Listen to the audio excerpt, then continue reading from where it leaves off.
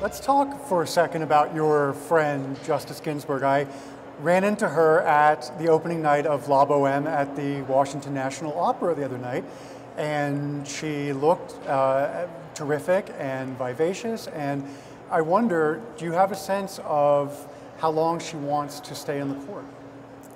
You know, I don't think that uh, she knows the answer to that herself, but I think we should take her at her word mm-hmm. that she intends to do this job as long as she can and do it well. This is her life. Right. The law is her life. The law and her family, and her husband is now dead. Mm-hmm. And so I think we should just expect that she's going to do it as long as she can. And she's had cancer twice, but she looks great. Um, she does push ups, which is more than I can say. That's impressive.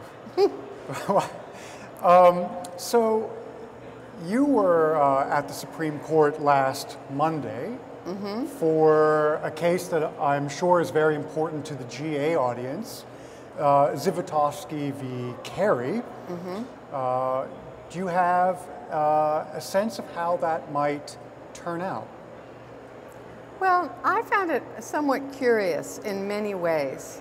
For anybody that doesn't know, the question is whether an American citizen born in Jerusalem can list on his passport as the place of birth, or not just the place of birth, yeah, as the place of birth, Israel as opposed to just Jerusalem. And the United States, since the creation of Israel, has taken the position, every president, Republican and Democratic, has taken the position that uh, the final disposition of Jerusalem will be decided in a peace deal, and until then, nobody can claim ownership, essentially, of, of Jerusalem. So every president has taken the same position. Congress, however, tried to get into the act in 2002 by passing legislation that called for the moving of the American embassy from Tel Aviv to Jerusalem, but it didn't mandate it. What it did mandate was the that the the pa U.S. passports of people born in Jerusalem should say as their country uh, Israel, and as the country of their birth as Israel, not just Jerusalem, which is what it had always been. And the Zivotofskys challenged that uh, challenged the, the State Department has never done it. Uh, George Bush, when he signed the, this was language that was tacked on to a big foreign aid bill. And when, he, when President Bush signed the bill, he said that he considered that provision to be an, an unconstitutional infringement of his foreign policy power and any president's foreign policy power. President Obama has taken the same position, so the State Department doesn't just says on the US passport says Jerusalem. And the Zivotofskys sued to enforce the language in the statute. So the case was argued three years ago the first time and then sent back to the lower courts. At that argument, interestingly enough, it sounded very much as if the Zivotofskys would lose. At this argument, it sounded very much the other way mm-hmm. around. Mm-hmm. And as one of my colleagues put it, the strange, the really strange part about the argument, it was sort of like the justices, some of the justices were playing diplomat for a day. Justice Kennedy kept asking a question that he'd even written it out, that the passport could say, this passport should not be taken to to be construed as endorsing Jerusalem as part of Israel, et cetera, et cetera. But of course, there, as the government pointed out, when this legislation passed, there were big demonstrations and violence in Jerusalem over this very legislation. And the government kept warning the court look, what you do here will have a consequence for, for international relations. And every president has agreed on that, and every president has thought that's not within the power of Congress to do, or for that matter, you to do, as is sort of the unspoken here. But I would say that certainly it sounded like at least four justices, and I'm including in that probably uh, Justice Thomas, but he doesn't speak. He doesn't ask questions. Um, but at least four justices likely sounded as if they were hostile to that idea. And, and maybe a fifth, and the fifth would be Justice Kennedy. I mean, it was not entirely clear what the other justices thought. Um, but what's odd, particularly odd about it, is that if there is a five justice majority to uphold the congressional statute and say that it does not infringe on the president's powers in an unconstitutional manner, four of those five justices will be people who work for the executive mm. branch and for years and years spoke about the importance and necessity of uh, a strong exec executive and aggressive sort of powers of the executive. And in those positions, they never would have tolerated the position that they are now contemplating endorsing. So it was, it was pretty interesting. It was an interesting day. Earlier, when you were interviewing uh, two of the Supremes uh, for us, uh, you asked Justice Kagan about the time she had to argue Citizens United mm-hmm. Uh, as the Solicitor General. And of course, that case has earned its fair share of detractors in this country, but I want to take you back to 2005 uh, to the uh, Kelo v. City of New London, Connecticut case, mm-hmm. a case that I personally uh, thought should have attracted more media attention, uh, media attention and debate, um, in which the court radically expanded the scope of eminent domain.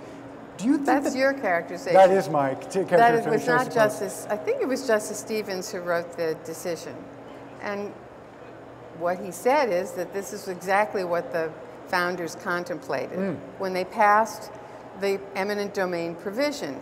And if you, and you certainly, the, the, the question was whether um, New London, Connecticut could seize property.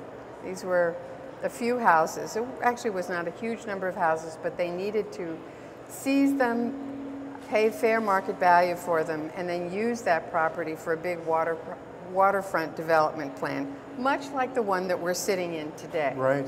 Uh, and the court said, yes, you can do that.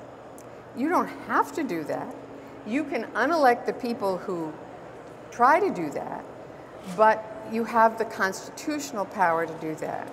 And I guess I would suggest to you that the reason it didn't become a big Megillah, to use a, mm-hmm. a, a, legal phrase, right. is that um, is that it doesn't happen that often, and it very rarely happens in cases involving big commercial development. So, uh, because if it if if it was considered somehow by people in general to be an awful thing to do, they, politicians wouldn't do it. Here, politicians actually enacted a law aimed at uh, curbing excesses and too much political, too much corporate influence and union influence in elections, and the court said, we know better. And the Constitution doesn't allow that.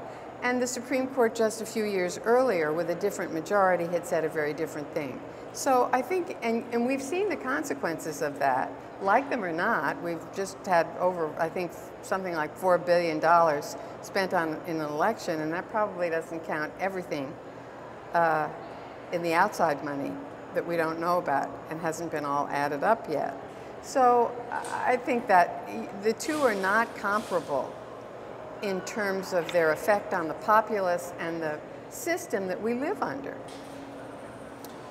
You mentioned also uh, in your earlier presentation gay marriage, and of course, uh, in the last week, it's been a major uh, ruling. The Sixth Circuit has upheld a uh, ban on gay marriage in what six six states? Four states. Four states. Excuse me.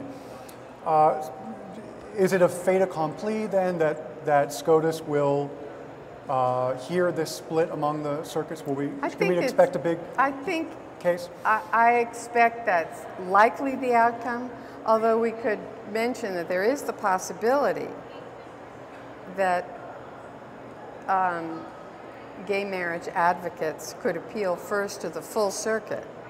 And if the full circuit were to overrule that panel, there still would be no conflict among the circuits. Correct. And, um, and there would be no reason for the Supreme Court to take the case. I mean, they didn't, after all, in the first week of October, the court declined to hear seven cases from five states and three circuit courts of appeal. And that led to the addition of something like 11 more states where gay marriage became, has become legal since then because those are the geographical areas covered by those appeals courts. And since then, in addition, the Ninth Circuit made a similar ruling, and once again, the losers, in this case, the state of Idaho, for example, tried to say, we're different. The Supreme Court said, no, you're not, essentially. We're leaving in place the Ninth Circuit. So we now have well over, I think, or at least uh, we have well over two thirds of the states now allow gay marriage. So, query let's say the court does hear this, there is a conflict, and the court goes to hear it, I think probably next term, not, not this term. Uh, I can't figure out how they could undo what they've already done. In those states, gay marriage is very likely to remain legal because tens of thousands of people will have relied on the actions of the courts right. and the Supreme Court, will be married, and will, you can't unmarry them. So, uh, and you can't change the law now because then the new people who want to get married would, would be saying, in those states, well, we, you can't deny us the equal protection, protection of right, the law. exactly. So it's a quite, I, I think, you know, if I were a betting woman, mm-hmm. I'd say there must be five votes there because otherwise, mm-hmm. what are they going to do? Well, let me ask you about that. You, if you were a betting woman, have you ever been so sure of an outcome as you were covering a SCOTUS case only to be floored? I've been floored, but I like to try not to be that sure so that after the um, Affordable Care Act, mm-hmm. the first round, we're about to have a second round of right. the Affordable Care Act. First round of Affordable Care Act, uh, the heavy betting odds were that the Obama administration would lose and that the court would strike the law down. And many of my colleagues really went out on a limb to say that. And I just was not going to do that because I've been around too long to do that. And in the end, of course, the court, by a five to four vote, upheld the law and on different grounds than anybody would have predicted, on the tax grounds instead of the Commerce Clause grounds. And the fifth vote was not, as everybody thought it might be, Justice Kennedy, it was Chief Justice John Roberts. Let me ask you, uh, as a journalist, as someone who has to translate uh, legal language, uh, very sophisticated uh, legal uh, language uh, for a lay person, who do you think is the best, the, the cleanest, the clearest writer on the court? Well, there are different things as to this. I mean, I think that certainly the most vivid writer is Justice Scalia, without doubt. I agree. And, um, but if I were to say the other clearest writers, probably are Justice Ginsburg. And uh, we don't have enough of a track record with Chief Justice Roberts, but he's a very clear writer. I want to ask you about a, a case from the Roberts uh, court that I watched very closely as a former prosecutor, and it was a unanimous decision, U.S. v. Jones, uh, that, that involved the surreptitious tracking uh, of an automobile by a GPS system.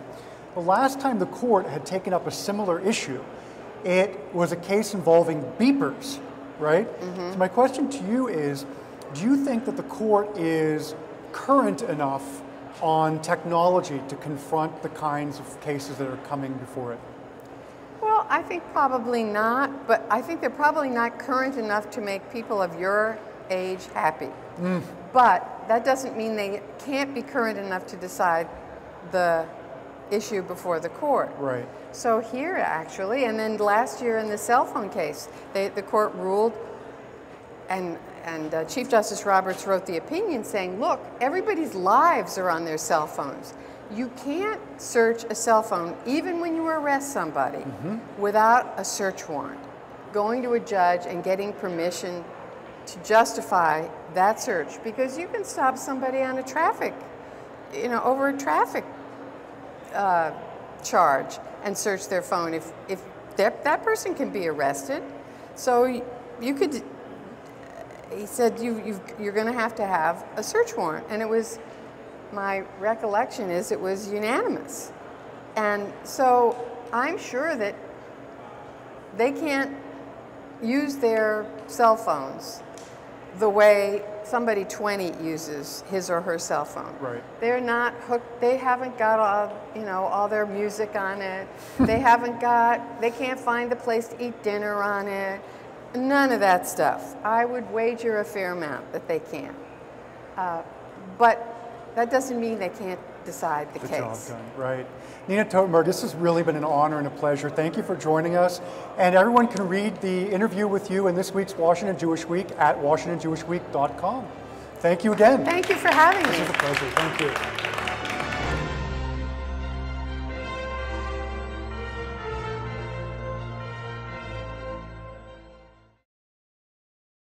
We would be pleased to send a complimentary DVD of this program to anyone who wishes to support Shalom TV on JBS with a tax-deductible gift of $36, double chai or more, to the nonprofit organization Jewish Education in Media simply visit the Shalom TV website homepage and click on the Donate button to make a donation by PayPal or your credit card.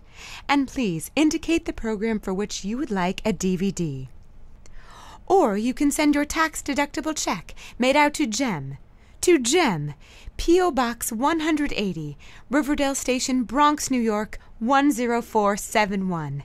And again, please remember to indicate which program you would like to receive with our compliments. And we thank you for your kind support.